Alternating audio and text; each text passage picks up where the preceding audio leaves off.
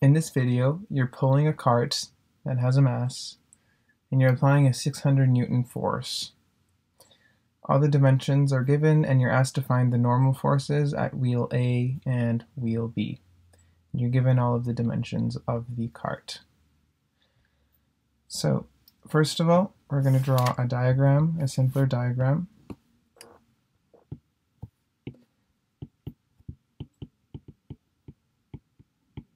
And specifically, we're going to draw a free body diagram in this case. So we're going to isolate the body, which is the cart. So our cart is going to be a rectangle.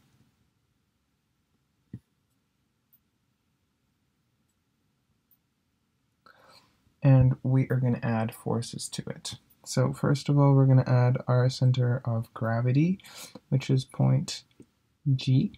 And this will is where the mass force will act. This is going to be equal to mg. Um, or the, this is where the weight is going to act, or the force due to the mass. Um, next, we're going to add the two normal forces, and again, these forces act are going to act at the bottom of the wheels over here. Okay, so the wheels we're going to assume are attached to, well, they are attached to the body um, so we're looking at the bottom of the wheels, um, not the in the place where the wheels and the cart meet. Um, so we're going to draw two forces um, here at the bottom, and we're going to name them NA and NB. So this here is going to be, um, this is point A, so where wheel A meets the ground, and so this is going to call, be called NA, and then to the right we have NB because this here is point B where wheel B meets the ground. And then we uh, we have one more force, which is the uh, tension force of that string you're pulling the cart with. And this is just going to be called F, and it's equal to 600 newtons that were given. Okay, and then the last thing we have is an acceleration of the body. So um, I'm just going to draw it in in red. Um, this The direction of this is not given, um, but we're going to determine the direction.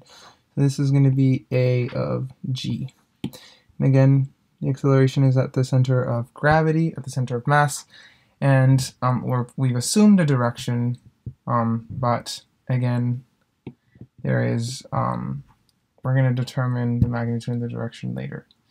Okay, and again, um, everything else is uh, the proper direction.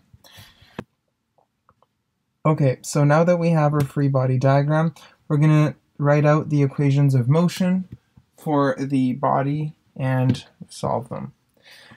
Uh, again, I only have an x component of uh, the acceleration because, again, this is rolling, so there's going to be no y acceleration. And also this is the coordinate system we're going to use. So x is positive this way, y is positive up, and a rotation is positive when it's counterclockwise. Okay, uh, so we're going to first take the sum of forces, both in the x direction and in the y direction. So first, okay, so first we're going to start with the sum of forces in the x direction. And this is going to be equal to the mass times the acceleration of the body. So again, there's two ways of figuring out um, the acceleration because again, we're not given a direction, um, but again, there is an acceleration um, due to this force here. So the first method, which is the one that I'm going to use, is um, scrapping this acceleration here and summing up of these all of these forces in the x direction and then equating them to ma, and that's going to give me my acceleration. Okay. On the other hand, I can apply an acceleration force to the body. Okay? And the acceleration force is just the mass of the body times the acceleration of the body. And then if I sum up all of these forces, including that acceleration force, then I get a resulting acceleration. Um, but that is going to be equal in magnitude but opposite in direction to the actual acceleration because then it's an acceleration force balancing the actual acceleration. Okay, so in this case, what I'm going to do is I'm going to equate the forces in the x direction to the mass times the acceleration of the body in the x direction. Again, there's only an acceleration in the x direction because the wheels lie along the bottom. There can't be an acceleration in the y direction. So if we implement this, we get that uh, m a of g in the x direction is going to be equal to f.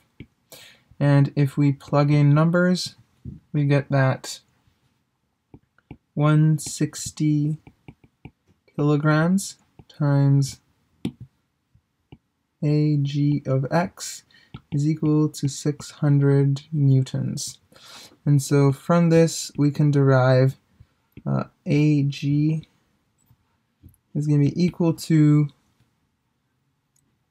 3.75 meters per second squared.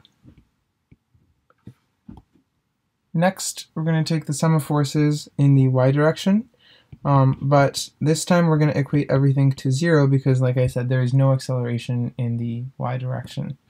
So um, we're going to go back to the free body diagram and take um, NA plus NB minus mg is equal to 0. And if we plug in the actual values, we get Na plus Nb minus 160 kilograms times 9.81 meters per second squared is equal to 0. Okay, so again, we can't solve for NA or NB because they're both unknown, so this becomes an equation. And then we have our last equation, um, which is the sum of moments, and that's going to give us our second equation. So two equations, two unknowns, um, we can solve for everything. So let's take the sum of moments, and in this case we're going to take the sum of moments about A. Um, but you can take the sum of moments about any point on the body. Um, it's convenient to definitely pick a location with a force because that it cancels out that force. That force doesn't have any, um, doesn't have a line of action, so there's no uh, moment created. Um, so in this case, all the forces are uh, either at vertical or horizontal. They're 90 degrees with respect to each other, so it's very convenient. But if there's slanted forces, usually it's easier to pick a point where that slanted forces act, that slanted force acts, so that um, you don't have um, angles. Okay, so in case if instead this f was slanted, I would definitely take the sum of moments about this point, um, since all of these are vertical. Much, much easier to take a sum of moments instead of doing a cross product or playing with angles where you might make a mistake. But in this case, we're going to pick A as our center for the sum of the moments. Okay? And um, again, in this case, so if you take the sum of moments, we have this acceleration, which again is going to lead to an acceleration force, an opposing acceleration force. Okay, so this acceleration here, um, I'm going to take it into account, so I'm going to equate the sum of the moments to um, the uh, force due to the acceleration, which is ma, uh, times, again, that distance, which is um, the lever arm for that um, acceleration force. Okay, so if we implement this, we get the following. Uh, M A times H, um, and that's AG, is equal to, and this is going to have a negative sign, um, negative mg times dA. So this is uh, the force due to the um, due to gravity. So dA again is this distance here. Um, so that's the lever arm, and the force is mg.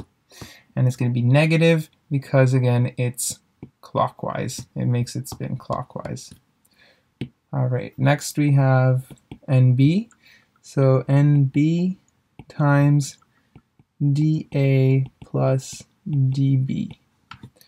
Okay, again, this distance, the lever arm is this distance here, and that distance there, as you can see from the diagram, is dA plus dB. And so we're gonna um, use that distance there. And then we have our last term, which is minus f times uh, y plus 2 times r. And so F is the force due to the um, pulling. So again, the uh, lever arm is this distance over here. And again, that distance over there is going to be equal to um, y plus 2 times the radius. Um, because this is a circle, so we have two radii, so 2 times the radius. Um, so that's why we have 2r. And so this is our full sum of moments. And now we can plug everything in and get the following.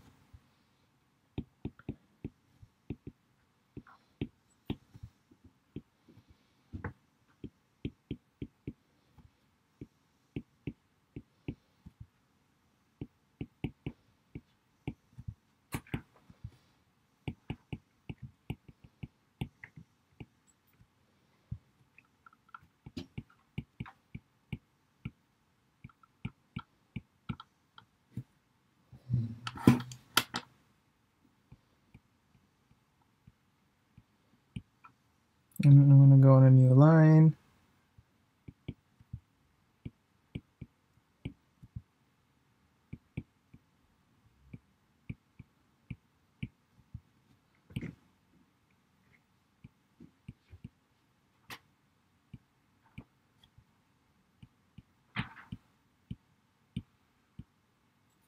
Okay, so again, 600 newtons times 0.9 is F times y plus 2r. This 1.28 is dA plus dB. Um, and this equation, there is one unknown, which is nb. And remember, this 3.75 was the acceleration we found before. Uh, so we can directly solve for nb. So with this equation, we get that nb is going to be equal to uh, 997.6 newtons. Okay, so that is the first part of the answer, um, the normal force at B. And then with this NB, we can plug it into this equation here to solve for NA. Um, because again, it's an equation in NB and NA. So if we do that, we get that NA is equal to 572 newtons. And that is um, the final answer.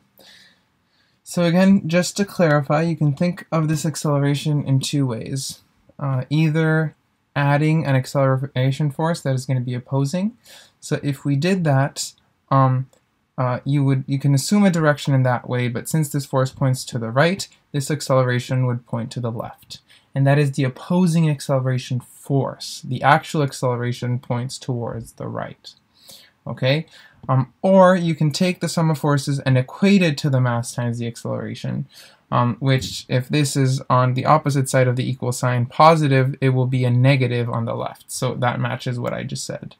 Um, and again, we also have to keep that in mind with the sum of moments. Um, so with the sum of moments, we also have to keep into account which way this acceleration uh, is turning the whole object. So that's where this negative sign comes into account um, because um, that this acceleration makes everything turn clockwise. It's negative.